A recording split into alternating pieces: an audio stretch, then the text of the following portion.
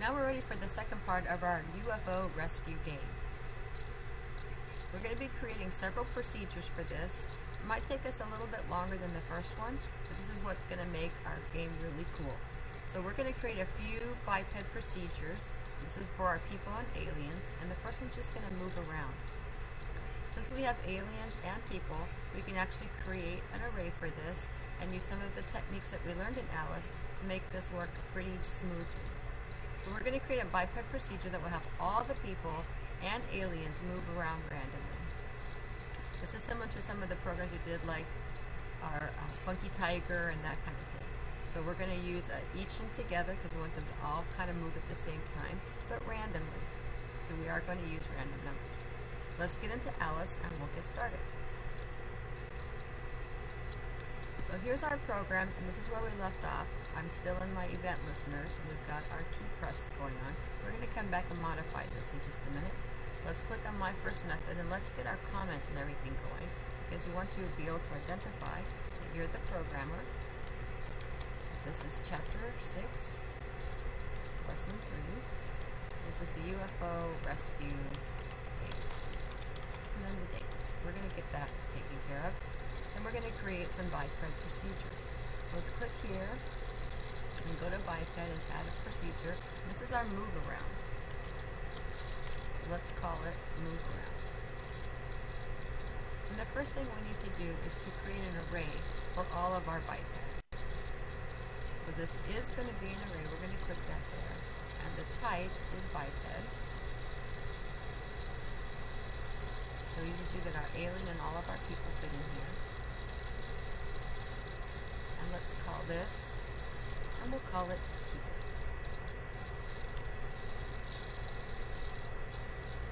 And now, when I move randomly, think about what you did in some of your other programs. We want it to happen together, so I'm going to drag in and do together. Then I want, I'm going to pick two motions. I'm going to have forward, backward, and left, right. I'm not going to have it go up and down because it's not going to go into the air. But I'm going to pick two of these. I'm going to have move, forward and I can use a negative number for forward and backward and I'm going to have move left which can go for left and right. And I just picked any number as my placeholder.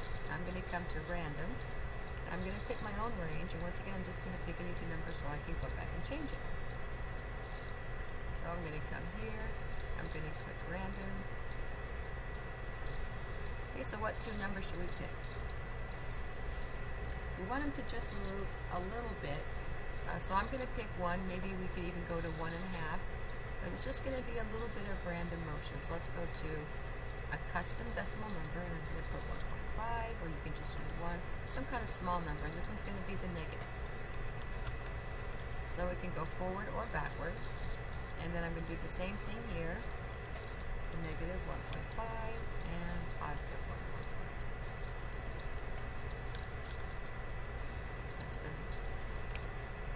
Okay. So we've got our random numbers there. And I can change the duration if I want them to move a little bit faster, but I think we'll be okay with one second there. Now I want all of them to move at the same time, so I'm going to use a each in together.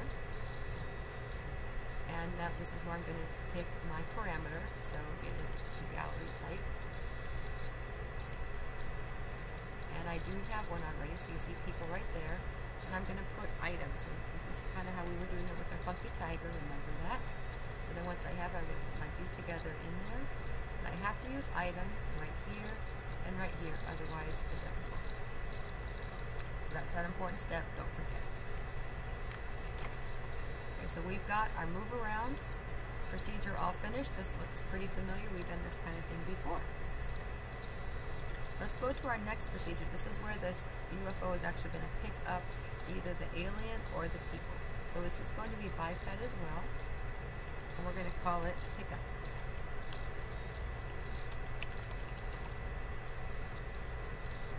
We're going to need two parameters for this, and this is going to be our cone and our UFO. So let's go ahead and add them in. They are not arrays, but they are objects. So the UFO is right here as an aircraft. And I'm going to call it ship for my spaceship. And then I need another one for the cone. Okay, so that's my shape. I could pick cone, and I'm going to call this beam. So I have my two parameters I'm going to be using, and I want to see if the cone is by one of my people.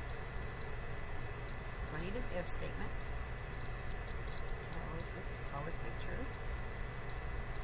Now I want to know if one if my person is colliding with the beam.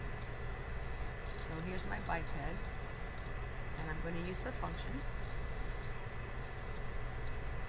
And here's colliding with, and I'm going to use beam. So if they're touching each other, it, then I want the ship to pick it up. So it's going to move, so my biped is going to move to the ship. Let's use move to the ship and then I want the person to basically move with the ship. So I'm going to change its vehicle. It's right here to be the ship. Now another thing I can do is change its opacity to zero so it basically disappears. So I'm going to set opacity to zero. So if it doesn't quite move with it, it we won't see it and this will all look really good. So we've just got our pickup. Now the next thing we need to do is check to see if it is it an alien or is it a person. So we want to pick up the aliens, not the people. This is also going to be a biped procedure. So we're going to call it check to see.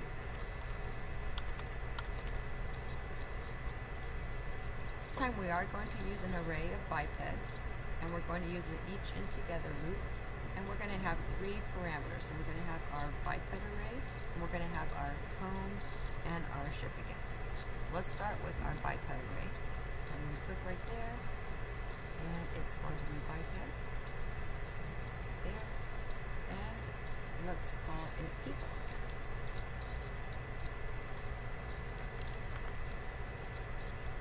the other two are like we did for pickup. So I'm going to have one that is my ship And I'm going to call it aircraft I'm going to click an aircraft and we're going to call it ship. And then another one for my car. So I'm going to click there and call it. So I've got my three parameters ready for the code. I'm going to change the opacity of the beam a little bit just so it's like I'm close to it. So it's going to change just a little bit um, so it kind of looks obvious that it's checking to see. So the first thing I'm going to do here is um, set my beam opacity. I'm going to come to opacity and set it to 0.8 and then I want to change the this to my beam. So the beam's opacity is going to set at 0.8. Then I'm going to use my array and a loop just to check it to see what is it. So each in together. And then this is going to be my people. So for my gallery class, I pick a biped. And then I come here and sure enough, there's people. I'm going to call it item. It's going to be the name. Okay. What I'm going to do is pick up. So I'm just going to check to see um, if anything is close by, and if so, I'm going to pick it up. So I already have this. Scroll this up. Here's pick up. Okay. And I'm going to have the ship and the beam. Then I'm going to set the opacity of the beam back to 0.2. So basically if I copy this line of code and change this, I got it done.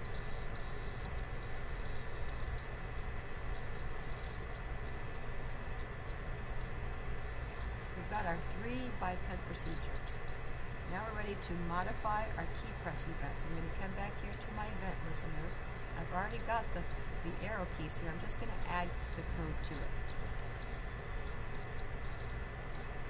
So as the ship is moving, I want to check to see if it's close to any of those people. So I'm going to use a do together, move the move in there, and then I also want the check to see, which is the biped. So if I click on one of my little bipeds here, I have checked this see.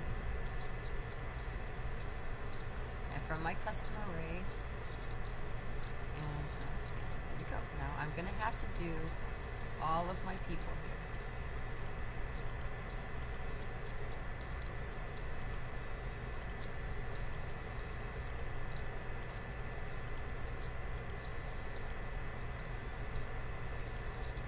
And I have eight objects, so I have zero through seven.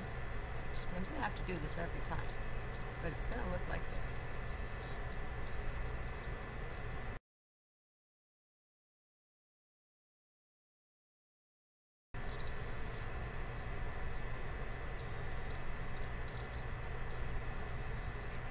Okay, now we have all this added up. So every key press event pretty much looks the same now. So whether we're going left, right, forward, or backward, it's going to be checking.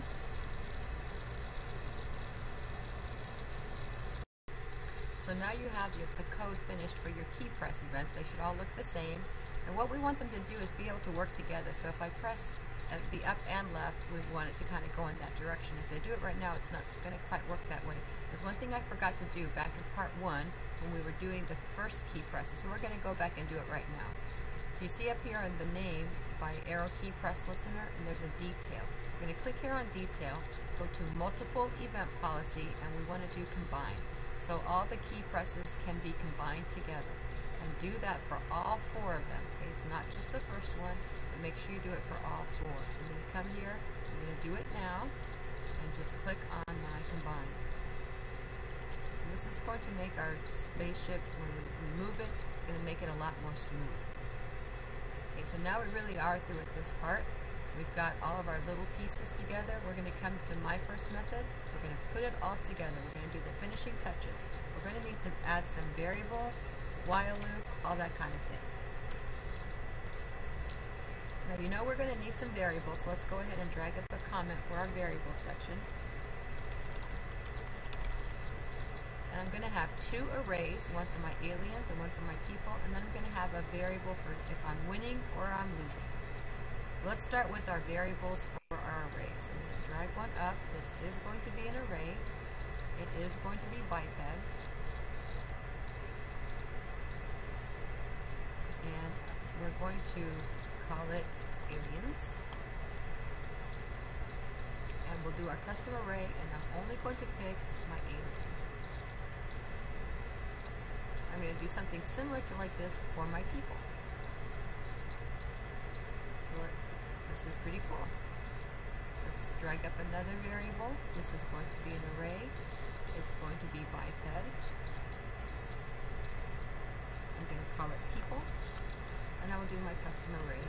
And this time, just pick your people.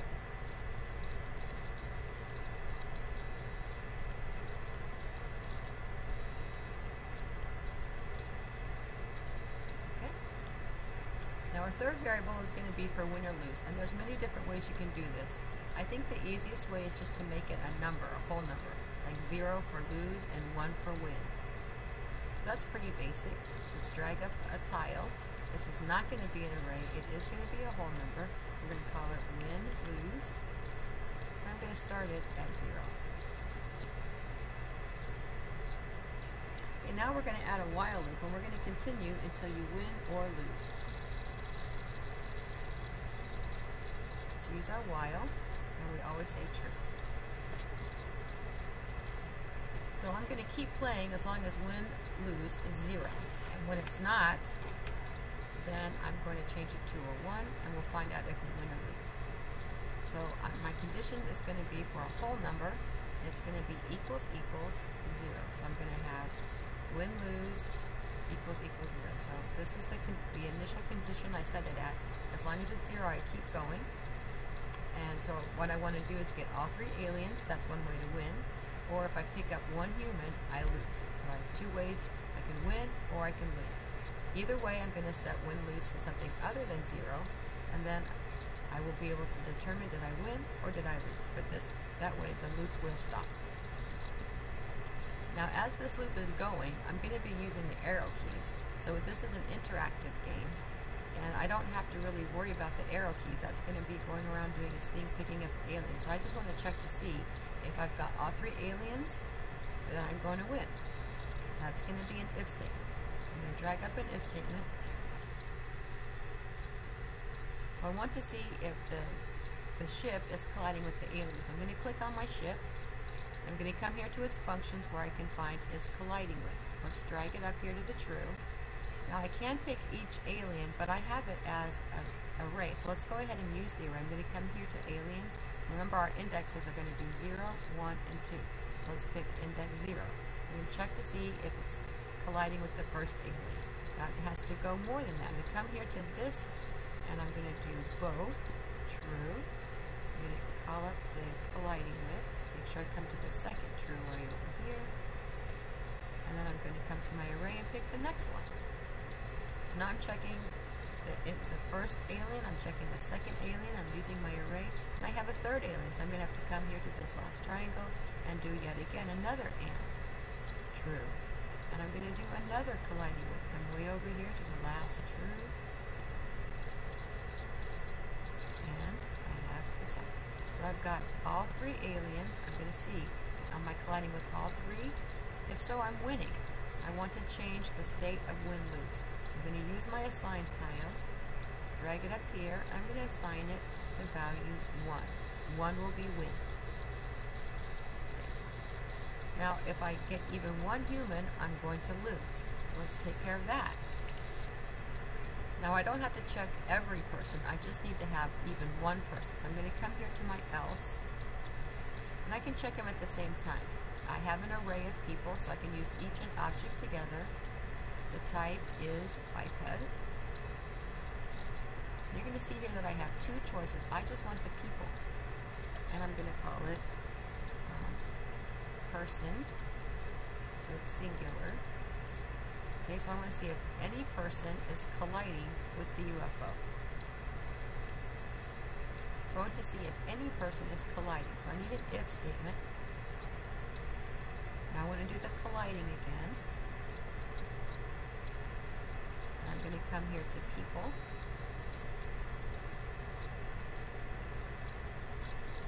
And then I can change this to person. So it's going to check each one. So to see if any person is colliding with the UFO.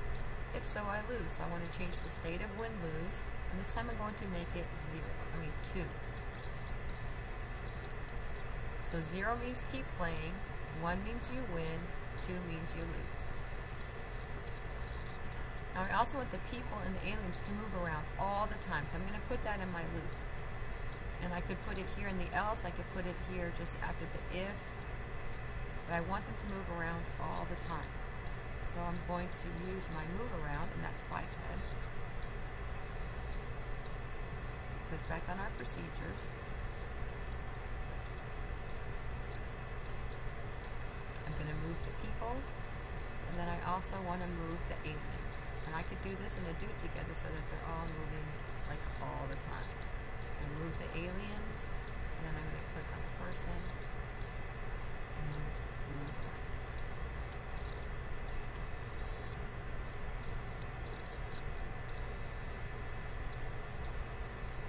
So I'm going to move all the aliens, and I'm going to move all the people. And we can run the code at this point just to make sure everything is working. We, have, we aren't actually going to say that you win or lose yet, but we want to know, is our code going to work?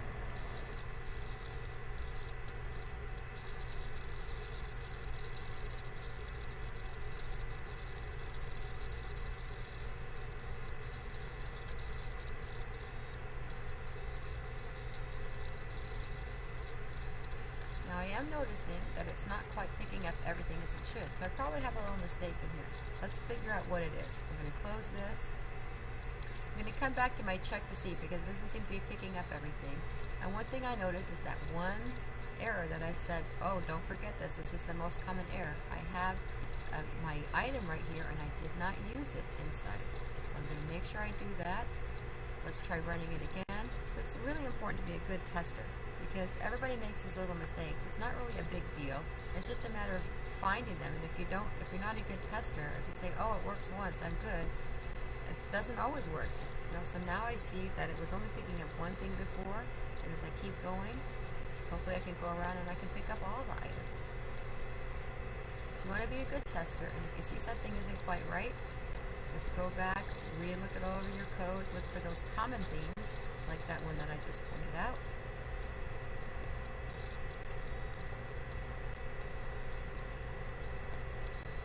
And I should be able to use like multiple arrows at the same time. And I've got things going good.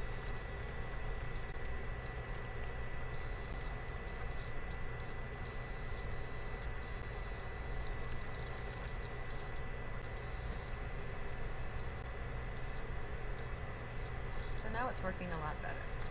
We're ready for our final touches. Let's come back to my first method. We've got our variable section, but I didn't make a comment section for our, our the main programming. So let's do that.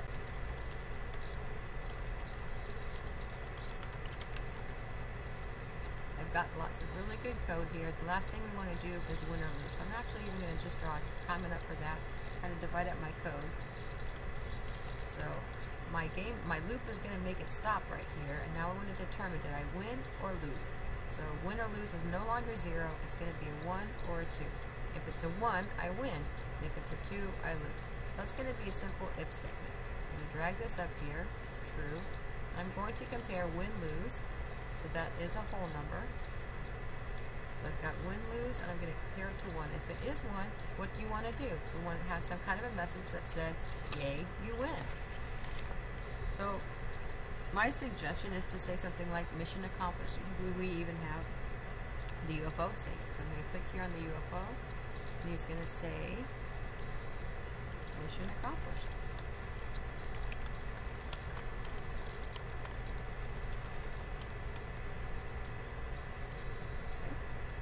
Then we can add some more things like you win, um, and I can leave this longer if I want to. sometimes it takes people time to read. So I've got mission accomplished, and let's say you win the game.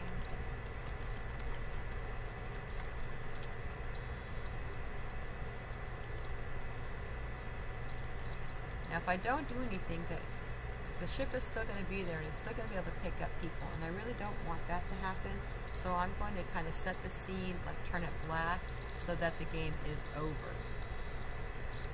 I'm going to just click on the regular scene right here. So I have these things right these procedures and I'm going to set the atmosphere color to black.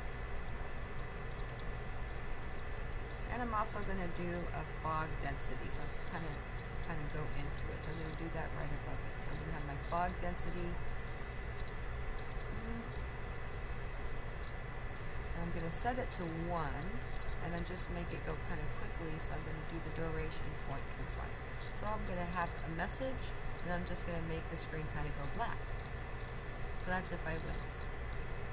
I'm going to do something similar for if I lose. I'm going to have the UFO say something like, um, you captured a human, you lose. So I'm going to click back on the UFO. He's going to say, you captured a human. going to say something like, you lose the game. And I can change the duration maybe, like I did right there.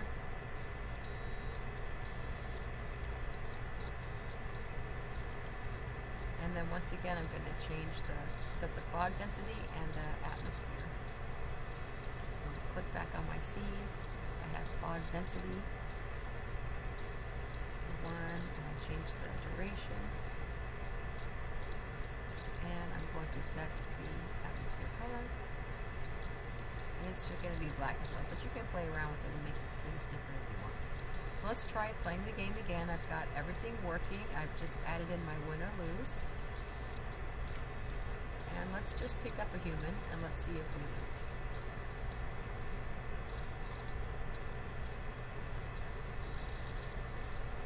You capture a human, you lose the game, and it goes. Okay, let's restart it and let's see if we can win.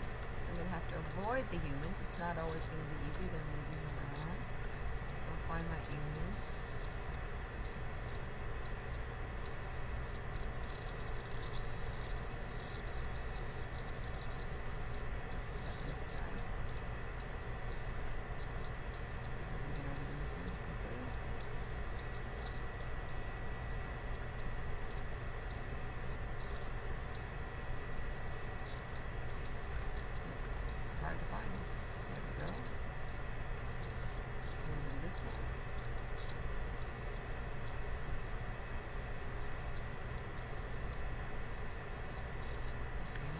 Mission accomplished.